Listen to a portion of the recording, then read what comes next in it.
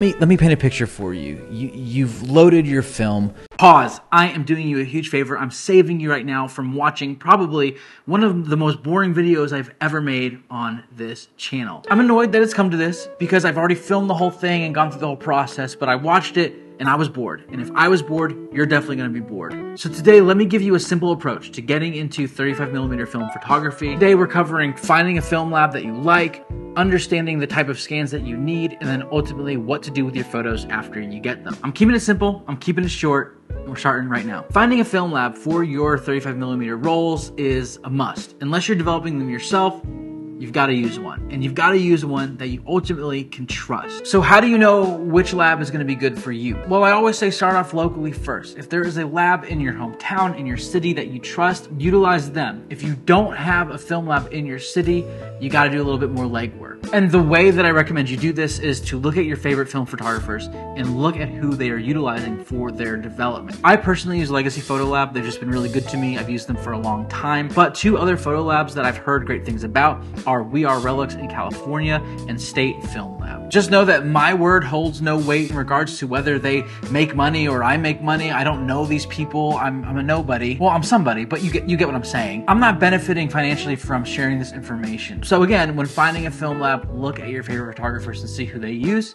And if it aligns with your budget, utilize them. The second thing you're going to need to consider is figuring out exactly what type of scan you're going to want because development is only the first half of the process. When you're sending your rolls of film in, there are negatives in those canisters. They have to be put through chemicals to actually bring out the image that you made and captured. Once the film roll has been developed, then it comes time to scan. This is what you actually receive in an email. This is what you're going to use to post to social media, print in a photo book or put it up on a wall. And so you need to understand why quality matters. For 90% of your applications, especially getting started, you're not going to need to go crazy. I think a standard or enhanced scan is going to be just enough for you. The higher you go in quality in your scan is the more information that scan is going to retain. It's obviously going to have a larger file size, but it's also going to be able to do more for you and your photo. If you want to print a ginormous photo and put it up on your wall, go with an 8 or 16 bit TIFF scan. If there are any film veterans out here watching this and you disagree with this philosophy, let us know because this is how I've been approaching it. I've been shooting for four years now. And this is really where my mindset has been. If I'm printing a book that I want a lot of people to purchase, I'm going to spend the extra money to give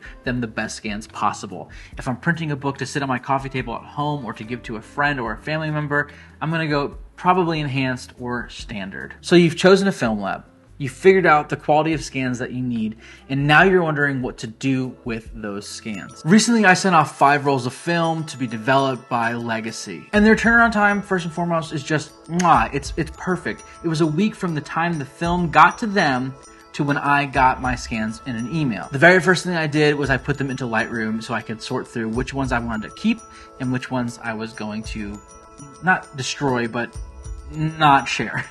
the tension with those 36 exposures, right, is that you're not going to nail everyone. And that's just part of the process. From here, I made my selects, and on some of them, I even did a little bit of minor editing. When I first got started with 35 millimeter film, I was really uh, nervous and anxious about editing the photos once I got. I thought it maybe was disingenuous, right? And I would see all these other great film photographers around me and I'd be like, wow, how did they get that image straight out of camera? I don't understand how they did it. And the reality is I don't think that they always do.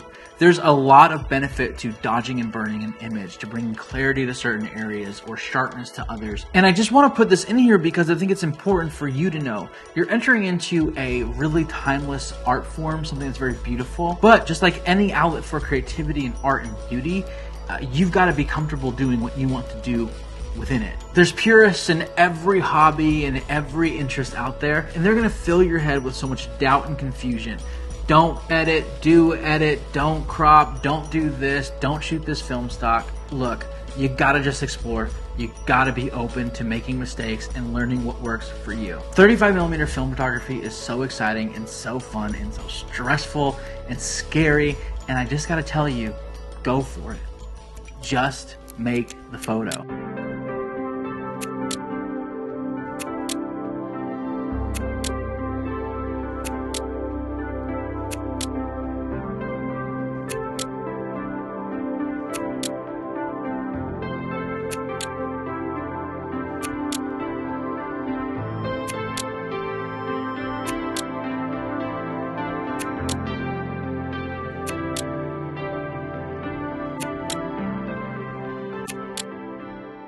So there you have it. I saved you from the world's most boring 35mm film photography video in existence, and I hopefully gave you a very simple approach to getting into 35mm film photography. Thank you so much for being with me on this one. I'm excited because I've spent the time learning what works for me and what does not work for me. And I hope that this video was a good bouncing off point for you. As you get into and take the risk of film photography, please use this video as a jumping off point and know that you're going to iterate off of this and you're going to have your own systems and your own processes and your own preferences to making amazing 35 millimeter photos. For those of you who have been here for a minute, I just want to say thank you again for coming back and watching another video. And for those of you who are new, I just want to let you know, my name is Andrew. You can call me Pooch, and I want to be your creative bestie. I want to be your support system, and I want to help you feel less lonely as a photographer today, like right now.